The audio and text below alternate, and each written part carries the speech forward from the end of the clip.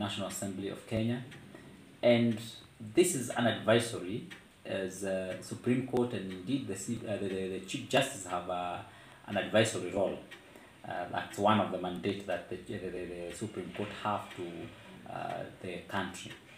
And so this is really not an order, it's not a court ruling, it's basically an advisory that has been issued.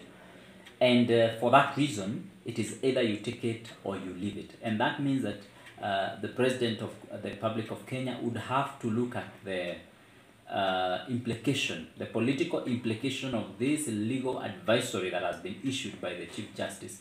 And depending on uh, the political, economic implications in our country, then the president will be able to make a decision. Legally speaking, uh, the Chief Justice is right by issuing that kind of an advisory. But again, does it augur very well with the reality? Because as we live, the court should never give orders or even advisories in vain. It should only give advisories, orders, and rulings that can be implementable. Do we? Is it is, is a uh, advisory that has been given implementable? In my opinion, it it is not. And reason being, even if you are to dissolve the parliament today, then how would you do a fresh election and meet the third gender rule threshold? It is still difficult because that provision has still not been put in the in the constitution. So what I think is we need to deal with the ambiguity in the constitution so that then we can be able to handle the issue of uh, uh, the, the gender rule in the National Assembly.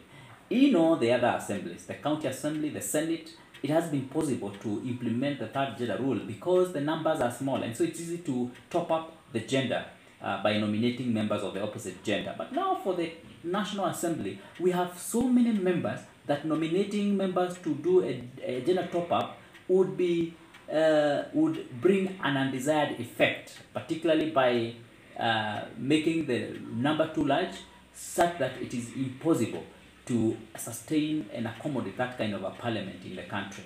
And definitely, it's also uh, impractical to set aside constituencies where you say that it's only going to be a certain gender that is going to be elected. That would, would again uh, be limiting the freedoms and liberties and the democratic rights of citizens that is also enshrined in the Constitution of Kenya. And so it is a complex issue, so to say, that need to be handled and looked at in a more uh, sober manner and also tamper uh, the legal and constitutionalism with reality and what is practical and what can be implemented.